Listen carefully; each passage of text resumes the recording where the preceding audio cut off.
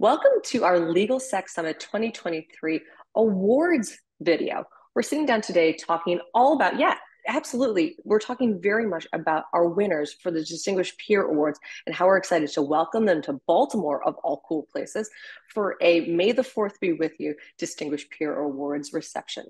So. I'm Beth Ann Stubbe. I'm the Director of Publications and Press for ILTA, and I am joined by my, truly, I say it all the time, but one of my very favorite ILTAns, Kenny Leckie from Traveling Coaches. Kenny, welcome.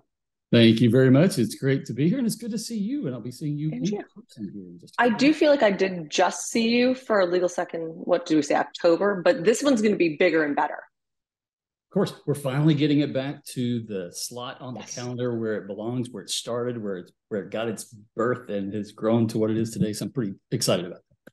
And I'm kind of interested for this one for us, for LegalSEC and the Distinguished Peer Awards to be together. I think that that's a really great amalgam of content and, more importantly, of people.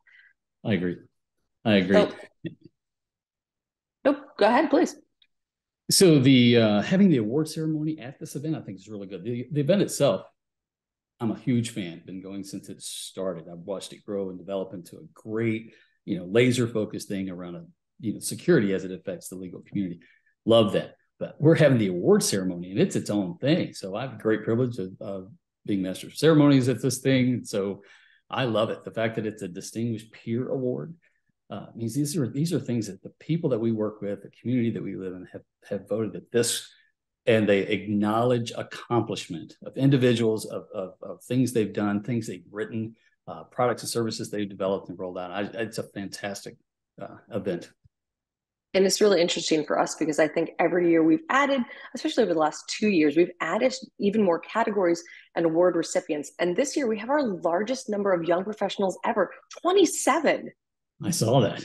I love that. I, I, I if if if the same group that started this that's worked in this forever are the only ones still doing it that means there's there's an end to this thing. I love seeing young professionals and, and folks coming out and, and getting involved and and really putting their expertise on display and then being honored at this award ceremony. I, I just I, i'm pretty jazzed about that long list of young professionals as well we hear all the conversations that you know legal tech is a little stagnant age groups and kind of demographic.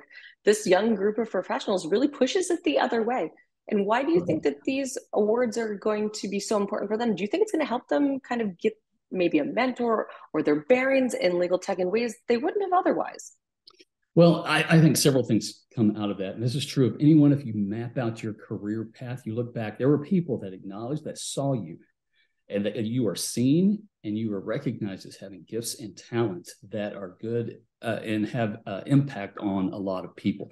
That's what this is for these people at this point in their career. And I see it as just catapulting. What it does, success drives success, and and and these types of uh, recognitions for things and actual effort made, not just for showing up, but doing something and doing it well. I think will catapult their career in a very positive trajectory. I'm excited to see so many of them in one place and hear their stories and see where their careers are really going to go. But we know they're going to be there. Why do you think someone should attend the Distinguished Peer Awards?